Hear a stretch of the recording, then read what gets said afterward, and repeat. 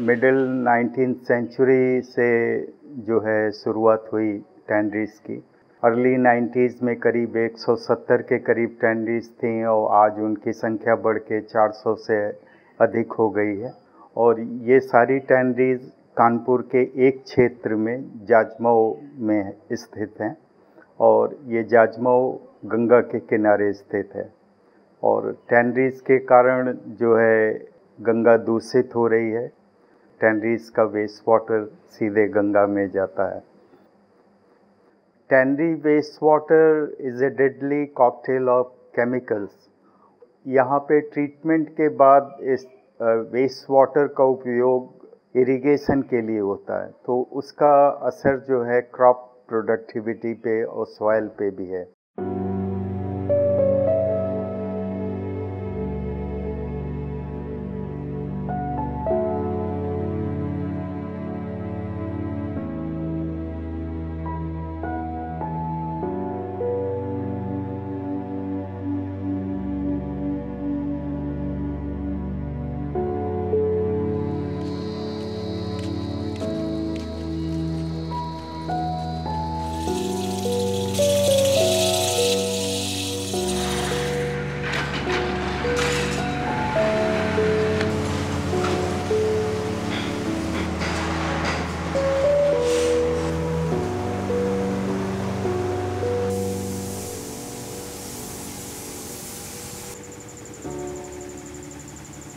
मैं सन बिरासी में कानपुर आया।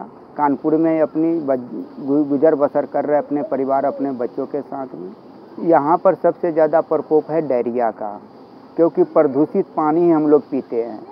अगर कहीं भी पानी लाकर रखेंगे, थोड़ी देर के अंदर वो पीलापन छा जाता है, क्योंकि उसके अंदर केमिकल आ जाता है।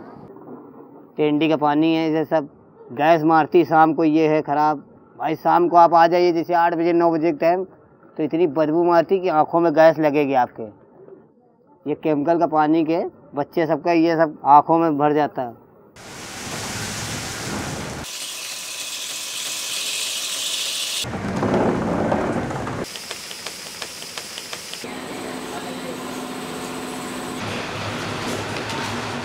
कानपुर में लेबर्स को यहाँ बहुत कोई ऐसी शिकायत नहीं है और लेबरों को कम से कम दस पंद्रह हज़ार रुपये से कम किसी की अर्निंग नहीं होती है यहाँ।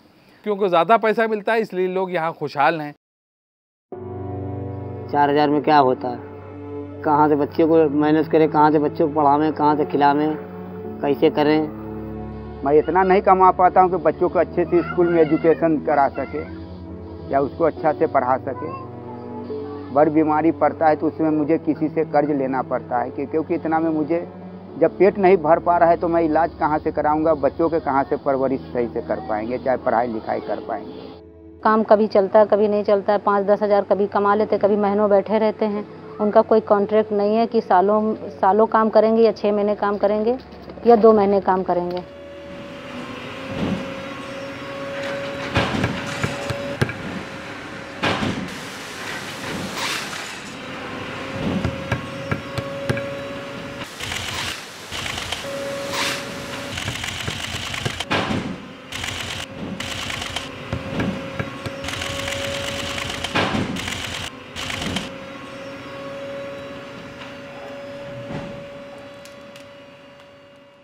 भी यहाँ पर मजदूर भाई है, बहुत से मजदूर है यहाँ पर, कि जो दयनीय स्थिति, हमसे भी दयनीय स्थिति में गुजर बसर कर रहा है।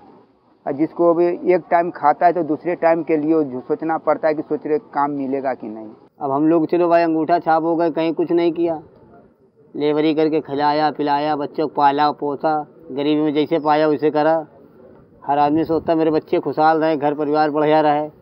अगर हम लोग चाहें भी बच्चों को अच्छी शिक्षा देना नहीं दे सकते, उनकी ज़रूरतें पूरी करना नहीं कर सकते, अगर उन्हें कुछ बनाना है वो भी नहीं कर सकते, इसलिए बच्चों की न तो ज़रूरतें पूरी हो सकती, ना ही बच्चे आगे का भविष्य बना सकते हैं अपना।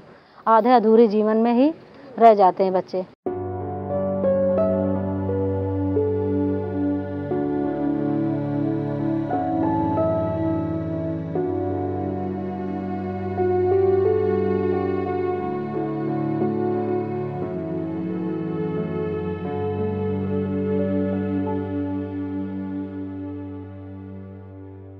Jajmo area is in the tight grip of tannery pollution and uh, is highly unorganized.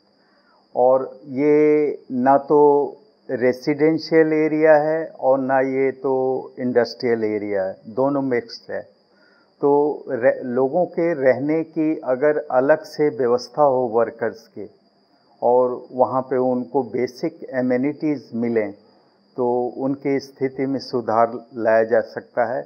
Plus उनके वेजेस बढ़ाए जाएँ और उनका जॉब परमानेंट किया जाए सेफ्टी गेट्स उनको प्रदान किए जाएँ ताकि जो हजार्डस केमिकल्स है, उससे उनका बचाव हो सके।